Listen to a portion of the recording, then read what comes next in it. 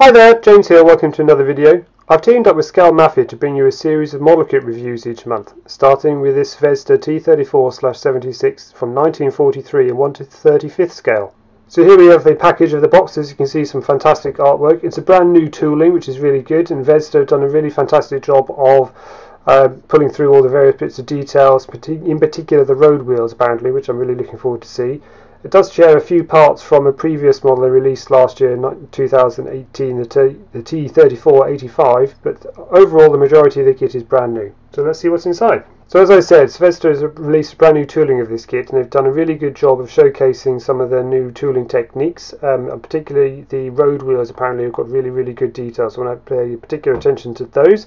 The kit does share a few parts from the T3485 that was released in 2018, but overall the majority of the kit is brand spanking new.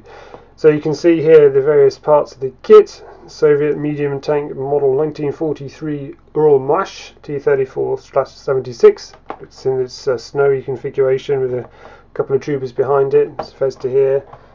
Let's have a look on the side. A few more kits of the range. Soviet heavy tank, German Panzer, and another medium tank. Oh, it's a T-34-85 that we just talked about. On the side, a bit more information. Just shows what's included in the kits. You get some decals. We'll have a look at those in a bit. Various paint schemes. Hopefully, the instructions will say what's in what you need. And a bit more information. It's 19.4 centimeters long. Got 303 parts. And on the reverse, you can see here both in Russian and in English. More information about the T34. There's not a lot of decals on this one. You can see in its uh, green camouflagey colour, but it's going to look very impressive nonetheless. So let's have a look. So it's an extremely sturdy cardboard box here. Ta-da! So let's have a look. Alright, so I'll look at the instructions first before moving on to anything else. Nice clear instruction manual, various languages, make sure it's easy for you to understand, complete parts list as you can see here. So yes, construction begins with the suspension, moving on to some of the sprockets and springs here, that all gets fixed onto the side panels. For the road wheels, it fixes up into a bit of a tub, which is good. There's the road wheels. You get drive sprockets and road wheels and cogs here, looking really, really exciting. Multi-part tracks, so that'd be quite good to see how those all come together. Some of the turret details, various hatches, front fenders, machine gun mount by the looks of it, putting the tracks on at the end, to put the road wheels on fixing various panels onto the stern, putting the turret on top of the main hull. It's a one-piece bow, which is quite good, that all fits together in an assembly here, and then attaches to the front of the turret. Put the plate on, seal it all up, machine gun, a few more bits and pieces, various tools and bits of spare track. Some boxes, you get a bit of vinyl mesh on this engine cover piece, which is quite a good bit of detail, a bit of stowage, a few more boxes here, and this sort of start bolting everything on. It's got a few uh, clear plastic parts as well, which is quite good. So presumably these headlights, are they here, and a few other bits and pieces over the cockpit and the driver's bay, probably, oh there they are. There'll all be nice clear parts and a few more boxes at the end and a tow rope, which I think is probably made out of a bit of a string. So let's have a look. Usual says Zvezda information piece, not much to say on that. There's the clear pieces, keep them nice and safe, and there's the vinyl mesh and a bit of string and a few of the decals on the back. Very nice, either white or the red, they look quite good standing out in the green. Colour scheme, so you can have a snow white version, which would be quite nice, or the green that's on the back of the artwork. So enough of that, let's see what's inside. So again, as I say, it's all very nicely packaged up. I've got a few sprues. Let's see what's inside. I'm sure the camera is going to go haywire trying to have a look at all these. So we've got one, two, three, oh god, crikey, good dozen or so, maybe a bit more sprues. So here's the first sprue you can see here. So you've got some of the detail parts. That's where the vinyl mesh will go. It'll be the front of the main cannon. There we go. The fenders, the main turret, a bit more of the detail where the vinyl will go, and there's some of the details of the wheels. Next, the actual road wheels themselves. Yeah, one, two, three, four, five of those.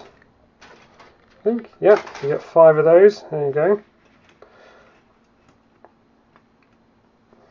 So I'll add a few close-up shots so you can see what's inside those. So here's a bit of the detail of these brand new tooling road wheels. You can see the quality looks absolutely first rate. Plenty of rivet marks, details, plenty of opportunity to get some wash in there, bit of a pin wash and weather these fellas up, which should be really good. Next up we have two sprues, identical sprues of the tracks. There's some quite good detail on these. Always going to be mindful of how the flat track presumably goes on the top and the bottom of the, the track around the road wheels and these go around the curves. Next we get into some of the larger pieces, so this is the side of the hull here, you can see where the road wheels will affix, and these are all various small pieces, so you've got pipe work, you've got some of the suspension, there's the actual springs for the suspension, idler wheels, various bits and pieces to stick on, so it's over 300 parts, so there's quite a lot of pieces involved in this kit, but it all looks very very good quality, plenty of detailed, plastic feels nice and sturdy, not too bitty. And then the last sprue contains all the big pieces. So you get the bottom plate, you can see here hopefully some of the detail involved of escape hatches. Obviously you won't really see much of this, but it's good that they've included it. Some of the weld lines as well, which is quite good. Stern plate, there's the top of the turret, there's the barrel, bottom of the turret, I think that's the stern plate. On the tow rope you can either have it, ooh, uh, the, use the plastic one or use the new rope one, uh, sorry, the string provided, so that's quite good. So here's a close-up of some of the detail of the stern, oh, sorry, the bottom of the hull in particular. So you can see the seam lines and the weld lines they put in and a couple of escape hatches as well. It's a bit of a shame really because the only place I can see that you've got weld lines is on the bottom of the hull, which you probably won't see that much. Let's move up onto the turret. Oh, sorry, the main hull itself. Oh, there's a seam line, a weld line rather You can see that there, so that is quite encouraging. Yeah, as I say, the plastic looks very high quality. I haven't seen any pot marks yet that need filling.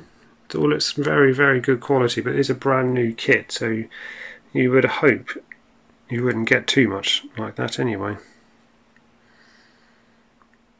Overall, very impressed.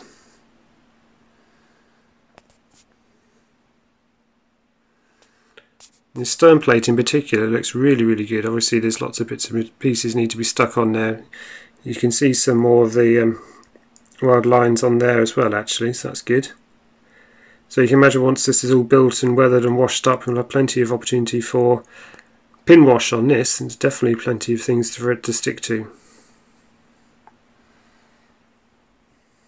So overall then, I'm really, really impressed by the Zvezda T34 Mark 76. It's going to be a really fun kit to build. I think of the two colour options, the one I'm leaning towards the most at the moment is probably the snowy white version actually, because I think you don't see many of those, especially um, this day. Most of the tanks I have built previously are all uh, desert colour, so there'll be quite a nice, nice different colour version. So thank you for watching. Thanks again for Scale Mafia for sending me out this kit to review. Um, so if you have like to stay up to date with more reviews from Scale Mafia and, and the channel overall, make sure you hit that subscribe button and turn notifications on. Thank you very much for your time. Hope you have a great rest of your day and I'll see you in the next video. Thanks for watching. Bye bye.